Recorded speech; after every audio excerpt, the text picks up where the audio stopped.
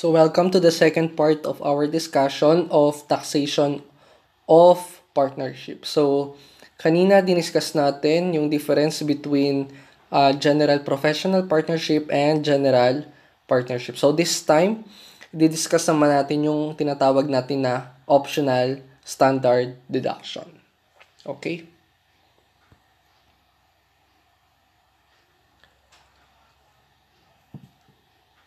So, ang General Professional Partnership or GPP na tinatawag natin, dalawa yan. Pwedeng ang gamitin niya as deduction is itemized deduction. When we say itemized deduction, ito yung mga expenses. So, if the partnership availed of the itemized deduction in computing its net income, the individual partners cannot avail of deductions anymore in computing their respective income tax on their share in the net income of the partnership because the distributive share from the partnership is already net of cost and expenses. Sinasabi lang dyan na once na ginamit na ng general professional partnership yung expenses na yon as deduction, hindi na siya ulit pwedeng gamitin ng individual. Okay? So halimbawa, na nagkaroon ka ng meeting with client, dinala mo siya sa restaurant, then ang tawag doon is representation expense. So once na uh, dineclare na yon ng general professional partnership as deduction dun sa partnership na yon, hindi mo na siya pwedeng i-avail uh, sa sarili mo as deductible or deduction sa net income mo. Okay? So aside from the the itemized deduction, meron din tayong tinatawag na optional standard deduction. Okay? So from the word itself, optional standard deduction, si BIR, binibigyan ka ng option aside from the itemized or instead or in lieu of the itemized deduction, binibigyan ka ng option BIR na ito yung gamitin mo as deduction mo sa uh, gross income. So, if the GPP avails of OSD in computing its net income, the partners comprising it can no longer claim further deduction from their share in the net income. So the OSD is 40% of gross income, same as corporation. So if individual, it is 40% of gross sale. So again, ang, ang partnership, binibigyan siya ng uh, option ni BIR either to use itemized deduction o yung normal na expenses or sabi ni BIR, sige, pwede mo sabihin kay BIR na, oh, sige, wag mo nang, wag mo nang ibawas to or wag na nating i-itemize lahat ng expenses. Straightforward, ang ibawas mo sa akin is 40% na lang ng gross income. So, pwede yon Okay? So, punta lang tayo sa example para mas madali siyang ipaliwanag. Okay? So, this illustration um, is for itemized deduction. So, Edward happily married with one, one dependent child, formed a partnership with Jacob, single and contented. So, single and contented. Okay? So, wala lang yun. Participate, uh, participating equally in the partnership's income and expenses. The following are the data for the partnership and the partners in 2018. Ayan. So, meron tayong yan, paliwanag lang natin yung problem.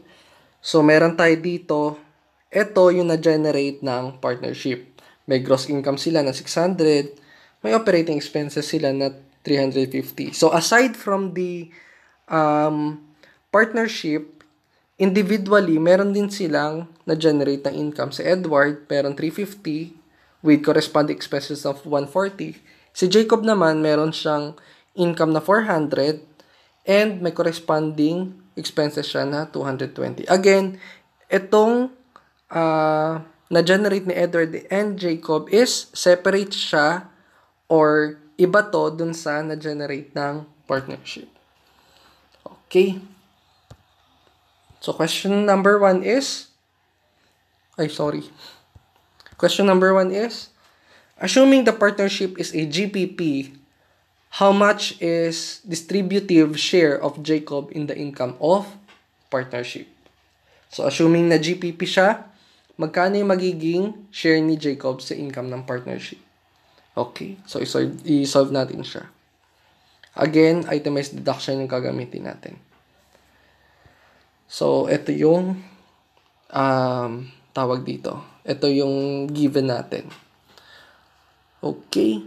So, sabi natin, ang tinatanong lang dyan is share ni Jacob sa income ng partnership. Ibig sabihin, wag na natin to pakialaman, wag na muna natin to pakialaman. Kasi ang tinatanong lang is share ni Jacob dito sa partnership. Okay? So, 600,000 gross income less operating expense of 350. Ibig sabihin, meron tayong distributable income from GPP magkano? 250,000. So, sabi din natin kanina, si Edward and Jacob, nagsishare sila equally. Ibig sabihin, ang share ni Jacob sa partnership ay 50%. So, 250,000 times 50%. Ang share ni Jacob sa partnership is 125,000. So, very straightforward computation lang. Ibig sabihin, 125,000 yung share ni Jacob sa GPP assuming na yung partnership is a GPP. Okay. So, the answer for question number 1 is 125,000. Okay. Next. Same given. Question number 2 is, how much is the taxable income of Jacob? So, kanina, partnership yung kinumpute natin. Ang tanong naman ngayon is, taxable income ni Jacob. Ibig sabihin, hindi natin ito gagamitin kay Edward. Hindi na rin natin ito gagamitin kasi kanina na-compute na natin to, di ba? So, ang tinatanong ngayon is, magkano yung magiging taxable income of Jacob. Okay? So, assuming pa rin guys na GPP to and ang gagamitin natin is itemized deduction. Yan. Ito yung kanina natin, di ba? Sabi natin kanina, may gross income tayo 600, operating expenses na 350. Operating expenses or itemized deduction. Ito yung nagpe-pertain sa itemized deduction. So, meron tayong 250 na distributable income. Share ni Jacob is 50%. Therefore, ang share ni Jacob sa GPP is 125. So, ang tanong ngayon, magkano ngayon yung kay Jacob mismo? Okay? So, tanggalin natin to. So, answer. Paano gagawin natin? So, kunin ngayon muna natin yung net income ni Jacob without yung partnership muna para mas madali. So, ibig sabihin, 400,000 na gross income with corresponding expenses na 220. Ibig sabihin, meron siyang net income na magkano? 180,000. So, dyan na ba natatapos yon? Of course, hindi pa. Kasi sabi natin, kapag GPP, ina-add siya sa taxable income ni partner. Ibig sabihin, yung 125,000, i-add natin siya do sa net income ni Jacob. So, 180,000 plus 125,000. Meron tayong total taxable income ni Jacob na magkano? 305,000. Therefore, answer for question number 2 is 305,000. Again, assuming na yung partnership natin is general professional partnership. Okay? So, question number 3. Question number 3 is, eto na. Assuming the partnership is a general partnership, how much is the taxable income of Jacob? Kanina sa question number 2, general professional partnership, ang tanong din is taxable income ni Jacob. Dito sa question number 3 naman, taxable income pa rin naman ni Jacob. However, assuming na yung partnership is a general or commercial partnership. Okay? So, so isolve natin. Sabi natin na ang general partnership or commercial partnership partnership is taxable as corporation. Therefore, subject siya sa RSEIT or MSEIT. Okay. So, meron na tayo kanina na compute na 125,000. Okay. So, disregard nyo lang to. GP to dapat. GP. Then, ito GP. Ayan. So, ang tanong ngayon is, magkano yung taxable income ni Jacob? Okay.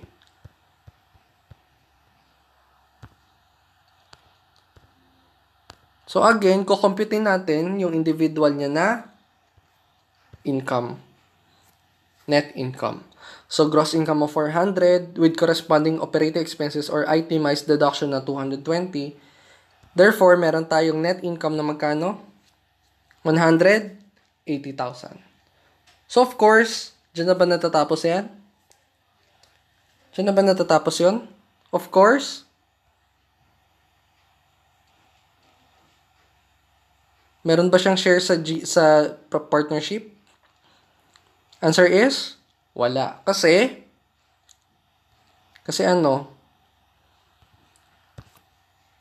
So 180,000 yan na yung answer natin for number 3. Ano mangyayari ngayon dito sa 125,000? So ang mangyayari dyan is i-multiply ngayon yan ng 30% na, na income tax, then magkakaroon tayo ng net income na 87,500. Anong mangyayari ngayon sa 87,500? So, yan naman, masasubject siya sa final tax. So, 87,500 less the 10% final tax, yung net amount nun, yun yung mapupunta kay Jacob.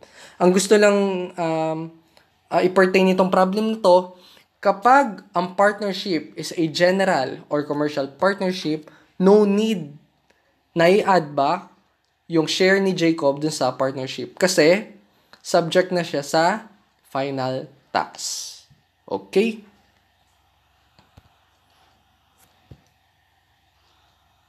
Okay na.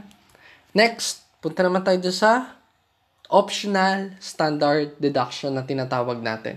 So, medyo madali lang naman kung kung alam mo na yung basic computation for partnership um me- medyo madali na lang yung application ng optional standard deduction.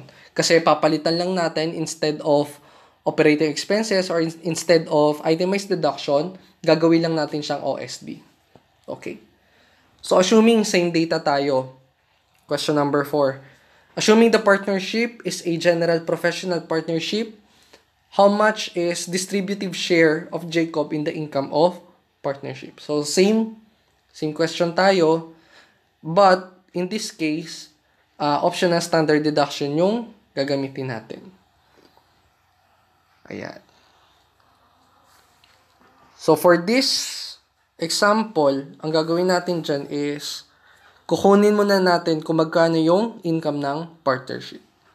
Okay, and since optional standard deduction gagamitin natin, which is 40% ng gross income, okay, Ibig sabihin, yung operating expenses natin, itong operating expenses natin na 350, mawawala yan. Mapapalitan niya ng optional standard deduction na 40%. 40% ng ano? Ng gross income.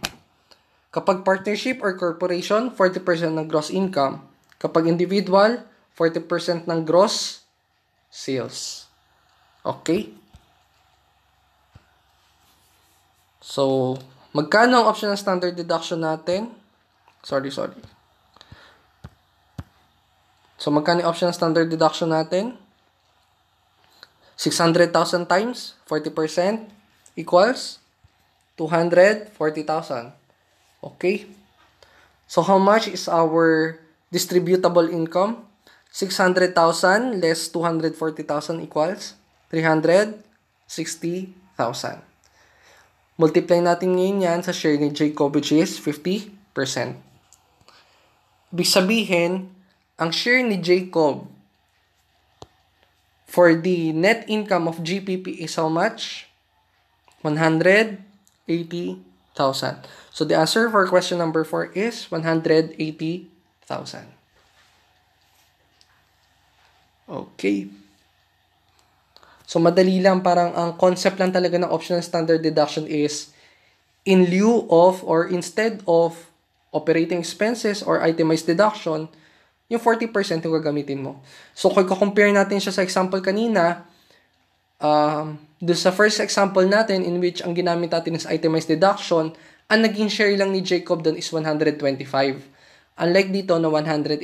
Ibig sabihin, mas naging advantageous sa part ng uh, company, o sa part ng partnership na optional standard deduction yung gamitin nila. Ibig sabihin kasi nun, instead of 125 yung yung maging share lang nila, naging 180. Mas mataas ngayon yung naging share.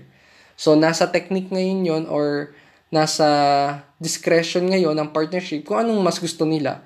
Mas magiging advantageous ba na na itemized deduction or magiging ad- advantageous na optional standard deduction. So, kaya siya tinag na optional, binibigyan ka ng option ni BIR to use kung ano yung magiging advantageous para sa'yo. Okay? So, next question. Same data pa rin tayo. Question number 5 is, How much is the taxable income of Jacob? So, ito naman, total na. But instead, optional standard deduction pa rin yung gagamitin natin for uh, partnership. Okay? So, same data. Ito yung kanina na-compute natin na 180,000. Okay, again, GPP itong partnership natin. So, meron tayong 400,000 na gross income. Meron din tayong operating expenses or itemized deduction ng 220. So, sa problem kasi natin, hindi sinabi na nag-avail si Jacob ng uh, ah, OSD. Ang nag-avail ng OSD is yung partnership. Again, ang partnership is uh, separate and distinct from its owners. Okay? So, hindi ibig sabihin na OSD ang gagamitin ng partnership, OSD na rin kay individual. So, magkaiba sila ng decision. Okay? Therefore, meron tayong net income kay Jacob na how much? 180,000. So, question. Yung 180,000 na share ni Jacob sa partnership is i-add ba natin? I-add or hindi? Remember, GPP tayo guys. Okay? So, answer is, answer is, i-add siya. Again, kapag GPP ang partnership mo, kapag GPP ang partnership, ina-add natin sa taxable income ng partner. Kapag commercial partnership, hindi kasi subject yun sa final tax. Therefore, ang total taxable income ni Jacob ay 360,000. Answer for number 5 is 360,000. Okay. So compare sa corporation ay kung kung i uh, irarank natin sila, siguro ang pinakamahirap na computation is the individual. So next is corporation kasi may RCIT MC whichever is higher. Then um, pinakamadali sa tatlo is yung partnership. Ang mahirap na siguro sa partnership is yung concept na i-identify mo kapag general professional partnership siya or uh, commercial partnership. Again, kapag GPP, ina-add siya sa taxable income ng partners. Kapag general partnership lang siya or commercial partnership, hindi siya ina-add kasi yung distributive share ng partners ay subject sa final tax. So, yun lang yung concept ng taxation ng partnership. So, that's the end of partnership. Punta na tayo sa part 3 which is yung exercises. Okay? So, question number 1. The net share received by a partner in a general professional partnership is Letter A, part of his taxable income. B, exempt from income tax. C. Subject to 10% creditable withholding tax. Or D. Subject to final tax. Again, the net share received by a partner in a general professional partnership is part of his taxable income, exempt from income tax, subject to 10% creditable withholding tax, or subject to final tax? Correct answer is letter, of course, correct answer is letter A. Part of his taxable income. Again, kapag general professional partnership, yung share sa net income ng partner is ina-add sa taxable income ng partner. Okay? So, clear tayo doon. Question number 2.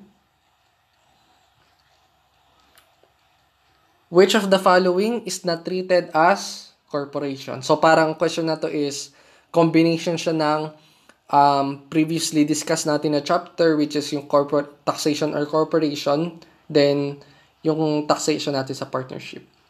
Question, which of the following is not treated as corporation? Letter A, general professional partnership. B, joint stock companies. C, joint accounts. D, all of the above. Which of the following is not treated as corporation? Of course, correct answer is Letter A, General Professional Partnership. So, yung mga taxable as corporation, ano-ano nga ulit? So, uh, number one, the corporation itself. Second, uh, commercial or general partnership, no matter how created or organized. So, meron din tayong joint stock companies, joint accounts, and association, and insurance companies. Okay, so ang sagot sa question number 2 natin is general professional partnership. Okay. Question number 3. Ito yung favorite ng lahat. Statement number 1. If the amount to be distributed to a partner of a GPP is more than 720,000, it is subject to 15% creditable withholding tax. Statement number 2. The distributive share of the partner in a commercial partnership, partnership is subject to final tax. Letter A. Only statement 1 is correct. B. Only statement 2 is correct. C. Both statements are correct or D, both statements are incorrect.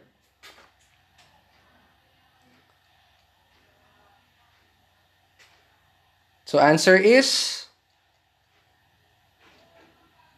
Answer is letter C. Both statements are correct. So sa statement number 1, tama yan kasi kapag ang distributed share ng GPP is uh, more than 720,000, subject siya sa 15%. Kapag less than, subject sa 10%. Okay? Statement number 2, kapag commercial partnership, ang share is subject sa final tax. Kapag general professional partnership naman, the GPP itself is not taxable. Magiging taxable lang siya kapag dinistribute na sa partner, either actual or constructive. Okay? Question number 4. Statement 1, again. GPP may claim the 40% OSD on the determination of distributable income. Or statement number 2, a GPP is subject to income tax. Pag ito may nagkamali pa. Letter A, only statement 1 is correct. B, only statement 2 is correct. C, both statements are correct. Or D, both statements are incorrect.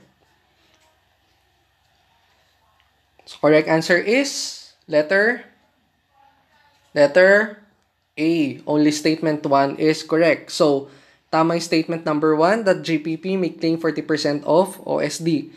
40% OSD of gross income. So, yun yung kanina kinumpit natin. So, ano nagpamali sa statement number 2? So, GPP is tax-exempt partnership. Okay? Last question. Question number 5. Statement 1. The share of the partner in the gross income of GPP is added to his own gross income. Statement number two. The share of the partner in the net income of a GPP is also considered passive income. So letter A. Statements 1 and 2 are false. B. Statement 1 is true, but statement 2 is false. C. Statement 1 is false, but statement 2 is true. Or D. Statements 1 and 2 are true. Okay. So answer is Answer is letter B. Statement 1 is true while statement 2 is false. So, sa statement 1, the share of the partner in gross income of GPP is added to his gross to his own gross income. So, kung makikita natin kayo sa illustration, ina-add dun sa taxable income ng partners yung share ng uh, yung share from the uh, net income ng GPP. So, statement 2, mali. Bakit? Yung share ng partner in the net income of GPP is hindi siya subject sa final tax, 'di ba? So therefore hindi siya considered as passive income. So yun yung last question natin. For your exercise, so yan, practice answering lang ito. Felix is a partner of FA and Company, a GPP, and owns 20% interest. The gross receipts of FA and company amounted to 10 million for taxable year 2018. So yung cost niya were 2,750,000 and 1,500,000 respectively. Okay? So yung 2,750,000 dyan, cost of service yan. Ibig sabihin, 10 million less 2,750 yung answer doon, yun yung gross income mo. Okay? So, less yung 1,500,000 to arrive at your net income. So, ang question dyan is, compute for the net income of the partnership and the net income tax liability of Felix, which is yung partner, if the partnership availed of, number one is optional standard deduction, and number two is itemized deduction. So, that will be for your uh, exercise. Thank you. See you on next video tutorial.